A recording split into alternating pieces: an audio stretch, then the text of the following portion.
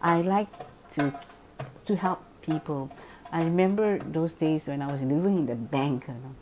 um, uh, my boys they, they studied in ACS, so um, uh, I I found that they needed some help for some of the children who can't even read, you know. So it, it I says no. I mean I I I can feel for them. You know they're not able to read, not able to progress anything. So during my lunchtime, you know, I was working in a bank. You know, from Shenton Way, I used to walk down to Coleman Street during my lunch hour, you know, to help the children read.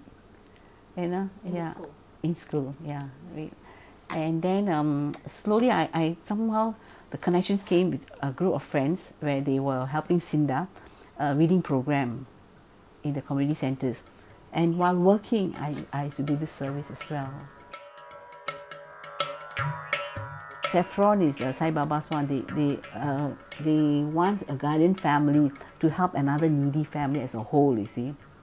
So that was really very good because um, some of these families you'd be surprised. They're really, really, you know, they really need a lot of support and encouragement and motive to progress. And there was a case where I even helped um, the family, a single mother, and and uh, somehow I, I felt very sorry because the children couldn't, you know, were, were not given the opportunity concentration at home.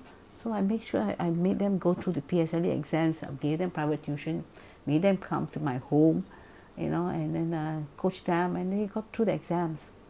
And there was one child where the, the mother, um, single mother, where the child doesn't go to school, doesn't, you know, and she was already sitting for PSLE. So somehow I felt very tired. I said, never mind, dude, it's so crucial. Let her stay with me, you know. So I housed her here, you know. I felt that she needed it, you know, for one year. Yeah, and then the school was St. Anthony, so I keep communication with the school teachers and all that. So um, uh, from here, I, I got a bus for her to go to school and come back here for lunch, everything like that.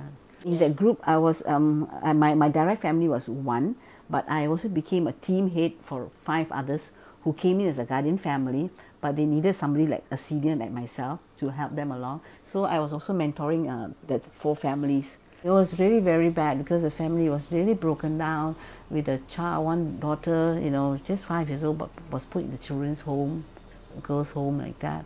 But no, we went in and then they say take out, take out the child, we'll help her. So she's they've progressed a lot, you know. So at least the family's back together, and um, husband and wife too. You know they are better now, better much better now, right? Um, uh, to this day, they still tell me that they always mention my name in their prayers. And um, over the years, I must say, I mean, we still keep in touch, you know. Uh, they all have grown up and all that. And um, there was like um, one family, they are still very much close, you know, keep in touch with me. And uh, in fact, the son got involved in gang fight and all that. He landed up in prisons also. But they were happy that at least I, I was able to reach out to him, right? So, uh, so I still keep in touch with them. At least two, three families are still in, in communication with me. Like this mother who's got two girls whom I helped in the PSLE exam.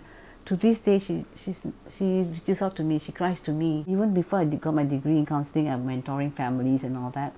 You know, uh, whatever's basic common sense knowledge of people wants care and love. Basically, that's what they want.